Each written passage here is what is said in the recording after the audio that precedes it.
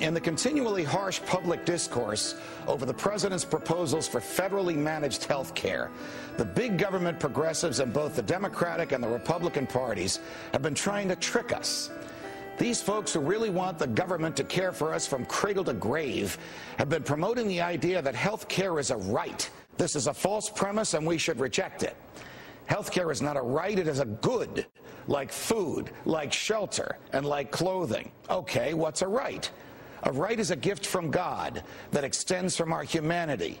Thinkers from St. Thomas Aquinas to Thomas Jefferson to the Reverend Dr. Martin Luther King Jr. to Pope John Paul II have all argued that our rights are a natural part of our humanity. We own our bodies, thus, we own the gifts that emanate from our bodies.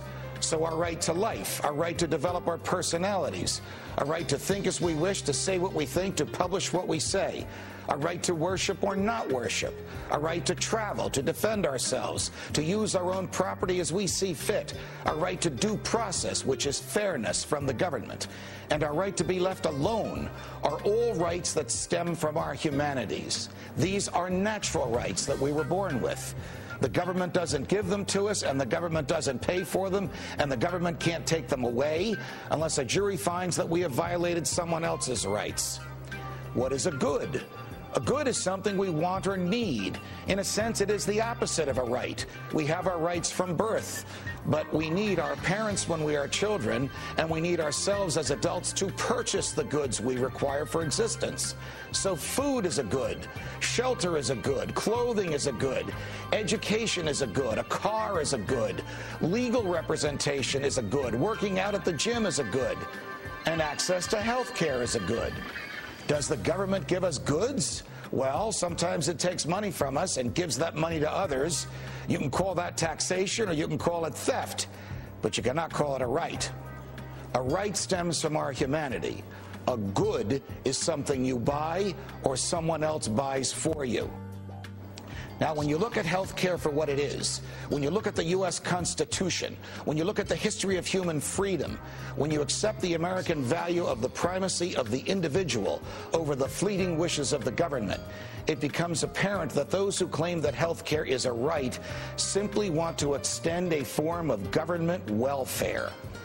Now, when I make this argument to my big government friends, they come back at me with, well, if people don't have health insurance, they will just go to hospitals and we'll end up paying for them anyway.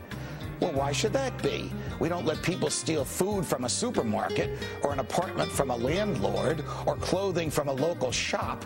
Why do we let them take health care from a hospital without paying for it? Well, my big government friends contend that's charity. Well, they're wrong again. It's impossible to be charitable with someone else's money. Charity comes from your own heart, not from the government spending your money. When we pay our taxes to the government and it gives that money away, that's not charity, that's welfare. When the government takes more from us than it needs to secure our freedoms so it can give some of that money away, that's not charity, that's theft.